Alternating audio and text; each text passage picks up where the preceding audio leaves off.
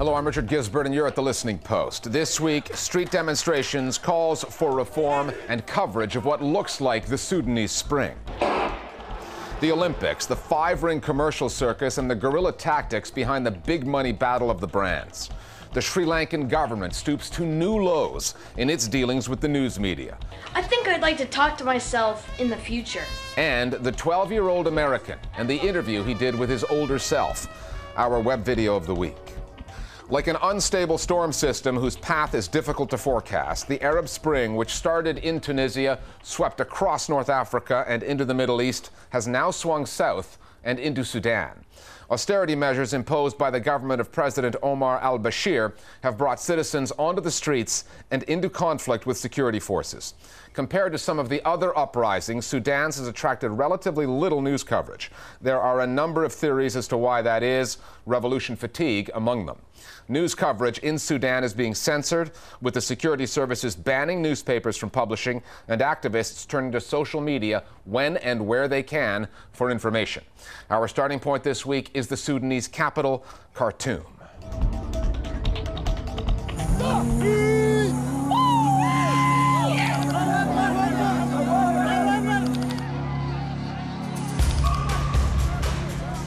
For decades of Sudanese civil wars, this country's story has been told as a tale of ethnic conflict. The Arab led al Bashir government in Khartoum fighting the non Arab African South. South Sudan is now an independent state. And the protests in Khartoum now pit the Arab street against an Arab leader. Times have changed, so has the narrative. It was always very easy to explain the conflicts in Sudan as uh, Arabs versus black Africans. What we're seeing now in Sudan is that there are a lot of Muslim Arab Sudanese who are actually opposed to the Islamist government in Khartoum. Suddenly, we're seeing evidence that the narrative that we've been constructing for many, many years now has perhaps been just a bit too simplistic. I would say that the problem is what Chimamanda Adichie would call the danger of a single story. So you have that, that narrative of Sudan. But if you were to reverse that correlation and say that the Arab and Islamic agenda is not the end, but the economic and political repression is the end, and that ideology is just sort of a tool in order to achieve that, then the protests in Khartoum make perfect sense. It turns out that many good Muslim Arabs in Sudan proper are opposed to their own government and are opposed to its policies. And I think it's simply that a lot of the Western media are a little slow to catch up on this one. This new story of an intra Arab power struggle has its roots in the conflict with South Sudan and the economics and politics of oil. When South Sudan achieved independence last year, it took 70% of Sudanese oil reserves with it, but the pipelines still run through the north. Six months ago, a dispute over pipeline fees led to South Sudan shutting down oil production.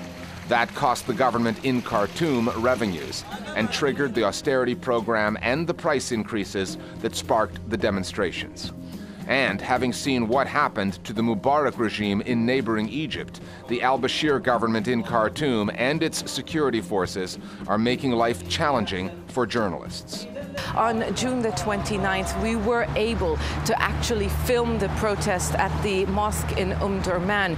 We saw people take to the streets chanting anti-government slogans, calling for the downfall of the regime. But the following Friday, the situation was very different. We saw police, intelligence agents, uh, security officers wearing plain clothes. They were in almost every street corner. Uh, the, the minute they saw our uh, car approach the mosque, um, they stopped us, they confiscated our our camera and took us to one of the branches of the intelligence agencies in Omdurman. Making media coverage for uh, demonstration is very risky uh, for journalists and for cameramen. Uh, because the government now said that most of these demonstrations or all these demonstrations are illegal demonstrations. They have no license from the government. So that when they start to deal with this demonstration, they don't differentiate between journalists and other people. It's a very, very harsh climate for reporters. The Sudanese government clearly is not handing out a lot of press accreditations to foreign media. So if you are taking pictures in Sudan, if you are videoing demonstrations in Sudan, I think you can count on quite rough treatment from the authorities. Throughout the Arab Spring, activists have had news channels, particularly Al Jazeera, under a microscope. Keeping a close eye on the amount and nature of the news coverage. Sudan is no exception. At the outset of the demonstration, uh, the, the, the media, Arab or non Arab, are very hesitant and shaky to, uh, to involve in this adventure. The most influential channel all around the Arab world is Al Jazeera Arabic. And people, they believe that uh, if there is a revolution is not covered by Al Jazeera Arabic is not a, a real revolution. A lot of, of the Arab countries, some of the Middle Mideastern countries, have actually expressed solidarity with the government of Omar al Bashir over the years. I think to some extent they've seen him as a victim of the countries of the West ganging up on him for committing these various atrocities. So there's probably a, a certain degree of reflex involved here on the part of some media when I talked to activists in Sudan, some of them were a bit critical of Al Jazeera Arabic for not being as frank as they would have liked about the scale of the protests early on. From what I hear, Al Jazeera Arabic is now catching up on that a bit. يعتقد المراقبون هنا أن الحكومة السودانية قد وضعت نفسها الآن في مأزق حقيقي. International news coverage is crucial because the al Bashir government is censoring what some Sudanese newspapers print and has banned others from publishing altogether. And social media, which proved critical in previous uprisings, has so far failed to have the same effect in Sudan, where only 10% of citizens have access to the internet. Another thing that, that is making international coverage really difficult is the media blackout in Sudan itself, because national news sources aren't allowed to cover the protests, and a lot of newspapers have been shut down because of censorship. And so the social media aspect of this is really important because it gives a really important platform for the activists to tell their story. A lot of them are using the social media, but the social media, I mean, look at the percentage of people who actually have internet connection in this country. Those who are tweeting the news and uploading videos on the internet, it's not reaching the masses here. The world is seeing this, but the people in Sudan are not. But the interesting thing is that we're seeing a lot of demonstrations in parts of Sudan where people really don't have access to Twitter and Facebook in very poor neighborhoods in some cases. What people have there are simply mobile phones. And they're hearing about the protests from their friends who simply call them up and talk to them on the phone or text them. So, in that sense, one of the most important social media in Sudan has simply been the mobile phone itself as a tool for keeping people networked, keeping people connected with each other. That is something that President al Bashir would do well to remember. His government can detain journalists, censor their work, and shut down newspapers. But as long as there are mobile phones, as long as there is word of mouth, anything can happen.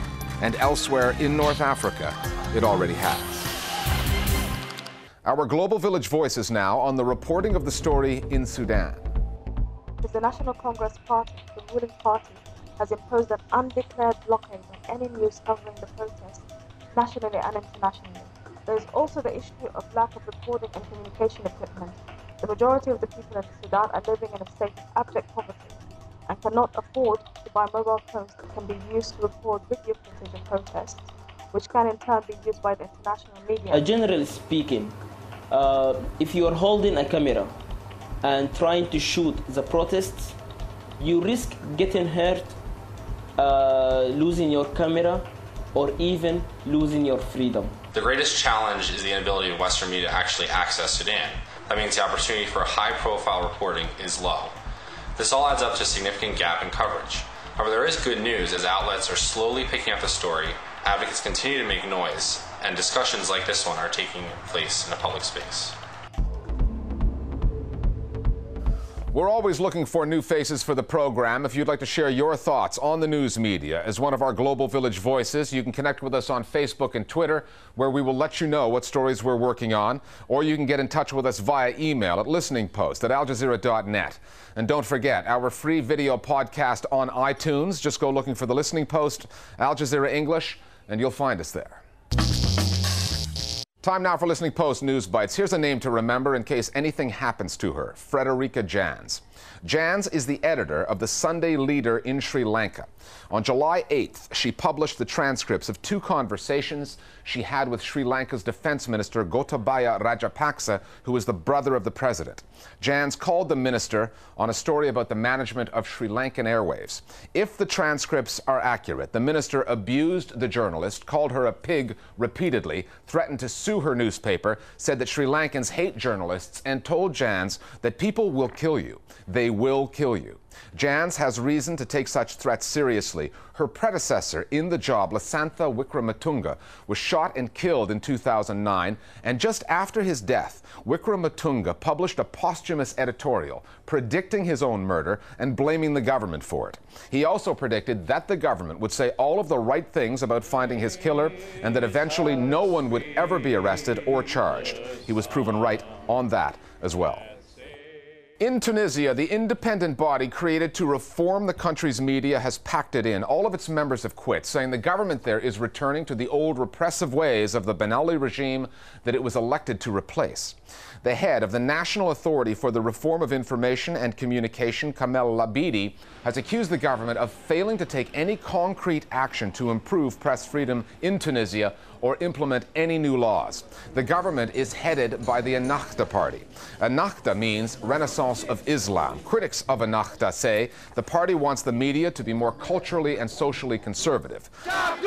Back in May, for example, the owner of a privately owned television station was convicted and fined for showing the Franco-Iranian film Persepolis, which, contrary to some Quranic interpretations, includes a visual depiction of God. Two months after Vladimir Putin's return to the Kremlin as president, the Russian parliament has passed a law that critics say spells trouble for freedom of expression online. The bill went before the Duma on July 11th and gives the government the power to blacklist websites and force internet providers to take those sites offline. The Kremlin argues that the law is aimed at protecting children from harmful websites. However, activists are saying that the bill was written in response to anti government protests that started in Moscow late last year and which were organized through social networking sites. They say that the law is much too vague and will give the authorities in Moscow the power to censor what goes online. The Russian version of Wikipedia shut down for 24 hours and explained its decision this way. Today, the Wikipedia community voices protest against the introduction of censorship, which is dangerous for the freedom of knowledge, something which must be open access for all mankind. And the operator of Russia's largest search engine, Yandex, suggested that the law will prove futile for the government. He vowed that everything will be found. Over the years, we've shown you some pretty lively political debate shows from channels all over the world, the kind of shows where producers book guests with opposite views in which sparks, insults, and occasional fists fly. Well, here's one from Jordan. In the left hand corner, a political activist who called the MP in the right hand corner, Mohammed Shawabka, a mafia thief and a spy for the Assad regime. Then came the insults, the flying shoe, and out came the gun. No shots were fired. However, the activist has filed a complaint against the politician in court, accusing him of attempted murder and defamation. The court said it will soon decide if there's enough evidence to bring charges. The judge might want to start with the tale of the tape. The London Olympics are less than two weeks away. The stakes are high. There will be cutthroat competition, not just among the athletes and pharmacologists, but also among the corporations and brands that use the games to make their mark. It is not often that advertisers can find television audiences of a billion people. So opening bids to be a London 2012 sponsor were set at around the $50 million mark. And just stumping up the cash does not automatically guarantee success. Often, the official sponsors find themselves competing with numerous advertising rivals, ambush marketers, who employ guerrilla tactics to crash the branding party that the Olympics have become. The Listening Post's Flo Phillips now on ambush advertising, a competition that can, at times, be less than sporting.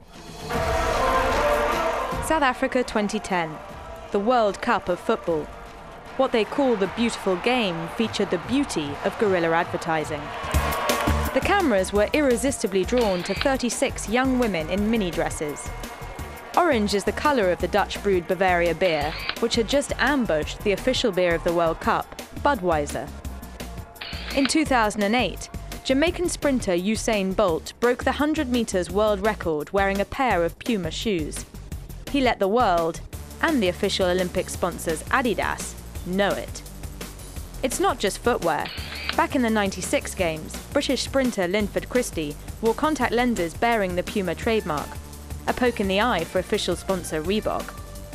Ambush marketing at the Olympic Games is taken incredibly seriously. Companies who have paid enormous amounts of money to be sponsors of the Olympic Games are perhaps having their territory invaded by companies that haven't paid any money whatsoever. Each of the major sponsors for London 2012 has a main rival, what could be called a corporate nemesis. For Coke, it's Pepsi. For Adidas, it's Nike. For McDonald's, there's Burger King. The competition between these rivals can be just as intense as the athletes going for gold. Lloyd's was the first sponsor to sign up to the Games, to sign up to London 2012. And Barclays, as everyone in London knows, sponsors the bikes, which are everywhere in London. It just goes to show you don't have to sponsor the Games. And actually, a lot of rivals of Olympic sponsors have found ways to, to sponsor events or things around the Games, around London, that people will see and will have a huge amount of awareness as well. Nike Adidas is the real hot ground because Adidas are an official partner of the Olympics. Uh, Nike have always gone the, the sort of unofficial route and associated themselves with athletes. So they're doing a lot of work at the moment with the athletes that they sponsor. And a lot of them have been tweeting and working on the internet and promoting Nike.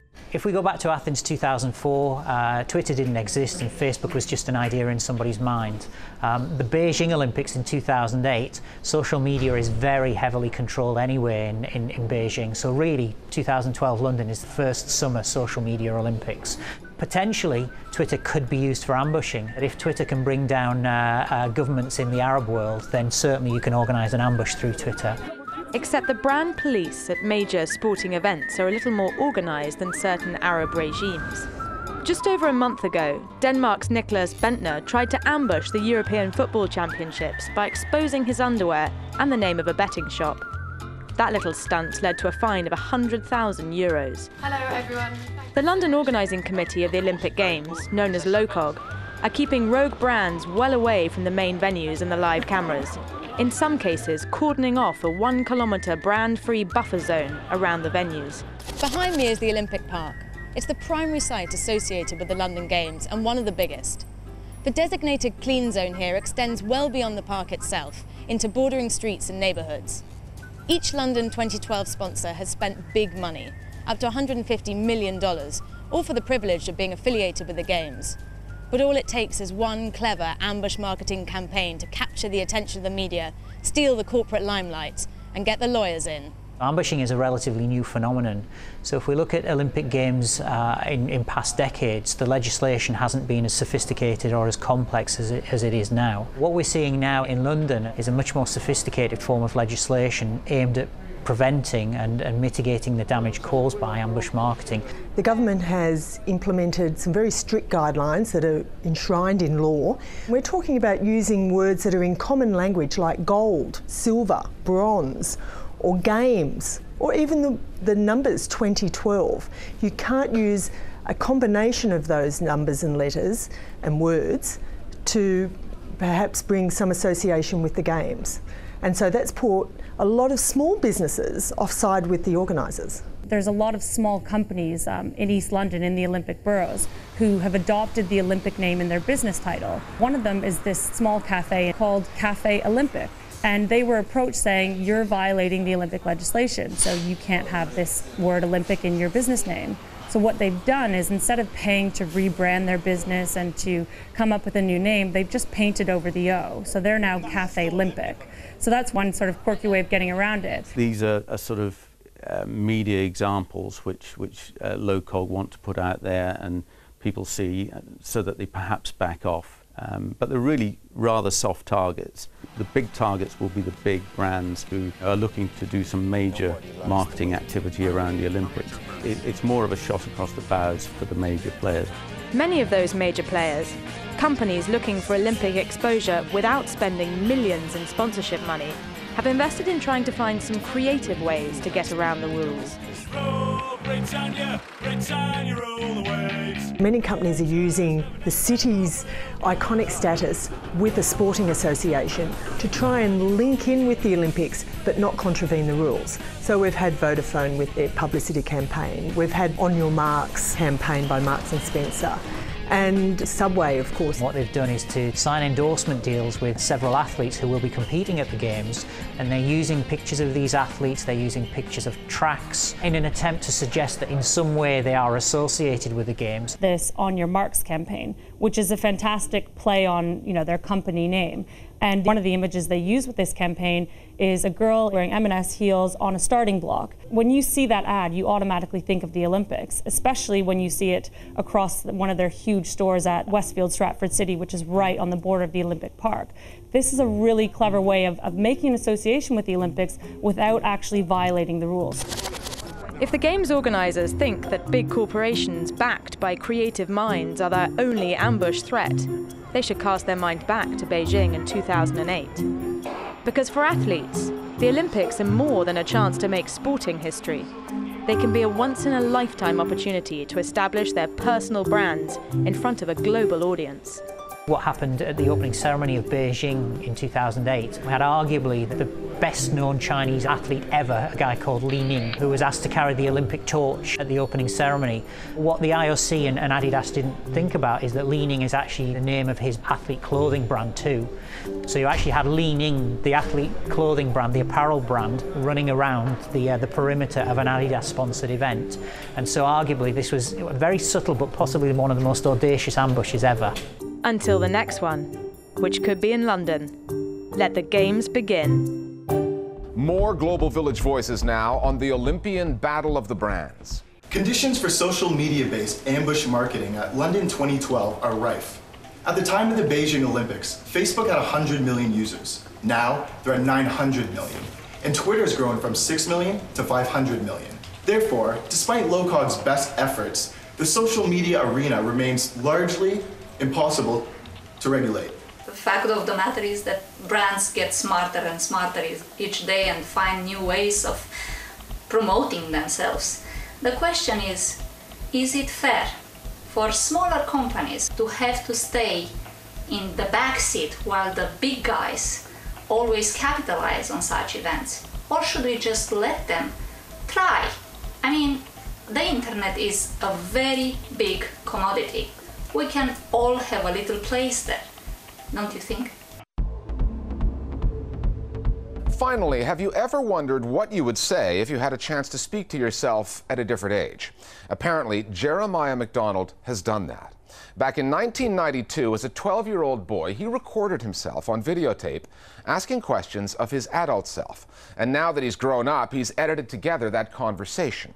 The two Jeremiahs talk about former pets, Star Wars, and some old hobbies. The video has got more than 5 million hits online and has some people wondering if the preteen Jeremiah is actually an actor. Check out our web video of the week, make up your own mind, and we'll see you next time at the Listening Post.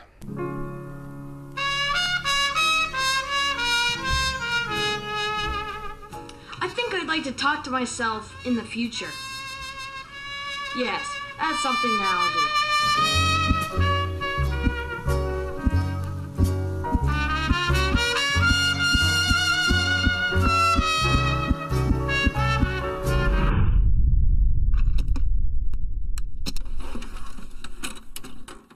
How are things, you know? Um, Okay.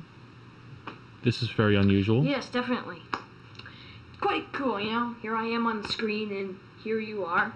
You're right there. Over here, yeah. Yes. Is there anything in particular you wanted to know about? As far as I can see, is Molly still alive? Is Molly still alive? No. Dogs don't live that long. Ah, Are all your questions going to be about pets? yes. Well, then the answer is they're all dead. Why don't I ask you some questions? To ask me questions? You know about. You already know. Well, yeah, but life before the internet's kind of a blur to me. What? Think if I? The internet, it's a thing that you'll know what it is in a few years. It's going to completely take over your life. You're going to spend many hours sitting in a room staring at a screen. Uh, excuse me. Oh, charming. No wonder I'm single. I am you. Exactly. What, what do you mean? Because I'm the result of every decision you make. You still like Doctor Who? No.